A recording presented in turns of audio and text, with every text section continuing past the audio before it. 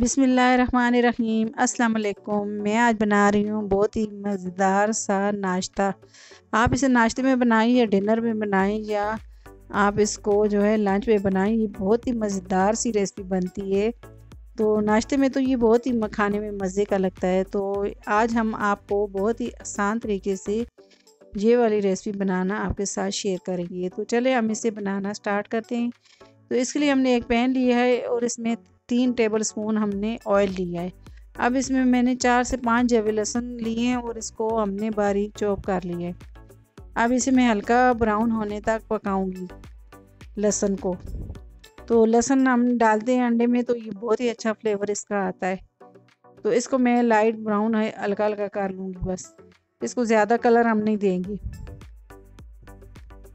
अब ये देखें जी, लहसुन हमारा फ्राई हो गया। अब इसमें हमने एक बड़े साइज़ का प्याज लिया है और इसको हमने बारीक बारीक काट लिया है। और ये भी हमने इसमें ऐड कर दिया। अब इसको भी मैं मिक्स अच्छे तरीके से करूँगी और इसको हल्का हल्का बस ब्राउन कर लूँगी। हल्का हल्का मस करूँगी, इतना डार्क ब्राउन कलर नहीं देंगे हम ये सारे मसालों को। तो ये देखें जी, हमारे प्याज भी तकरीबन जो है रेडी हो गए हैं। तो ये देखिए, प्याज हमने लाल कर लिए बस हल्का हल्का जो है इनको हमने ब्राउन करना है। तो साथ ही हम चमचा हिलाते रहेंगे इस तरह से। बिल्कुल हल्की आँच में इन सारी चीज़ों को हमने पकाना है। तो ये बहुत ही मज़े के अंडे लगते हैं इस तरह से बनाएँ तो ये इतनी आसानी से बन जाते हैं एक ही बार में। तो ये मैंने तीन हरी मिर्चें ली हैं, इनको बारीक काट लिया और तीन ही जो है लाल वाली जो हरी मिर्चें होती हैं, वो लाल वाली नहीं है तो इनको भी मैं, मैंने बारीक काट के तो ये भी मैंने ऐड कर दी है।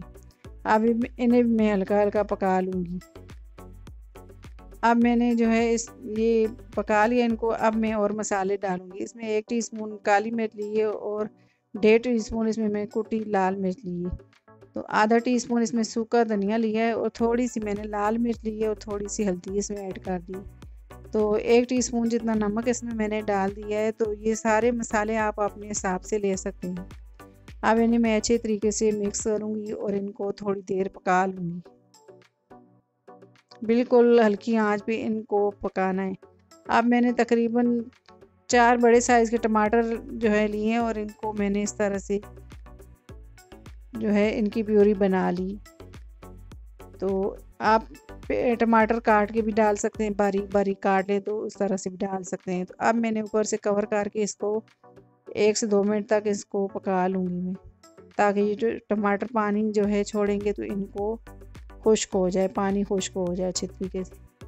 अब मैंने ऊपर इस तरह से हम चमचा हिला लेंगे, ऊपर से कवर करके तो फिर थोड़ी देर और मैं पकाऊँगी इसको। इतनी देर पकाऊँगी कि ये टमाटर का पानी खुश्क हो जाए।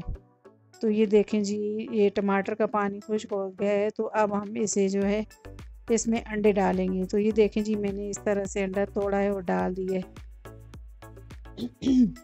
अब ये मैंने दूसरा अंडा भी इसी तरह से डाल दिया है।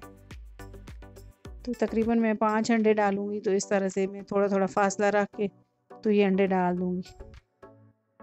तो ये देखें जी, चूल्हा लगा हुआ है, चूल्हे को मैंने हल्का कर दिया तो ये मैंने पाँच अंडे डाल दिए। तो ये देखें जी, अब हरा धनिया इस तरह से मैं डाल दूँगी। जो सफ़ेदी अंडे की तो इस, उस पर मैं जो है इस तरह से हरा धनिया डाल दूँगी। तो ये देखें जी, मैंने ये हरा धनिया इस पर सारा इस तरह से डाल दिया अब ये मैंने जो है ब्लैक पेपर लिया है तो ये काली मिर्च पाउडर तो मैं इस तरह से ऊपर थोड़ा थोड़ा डाल दूँगी। तो ये मसाले जो हैं अपने टेस्ट के हिसाब से ले सकते हैं।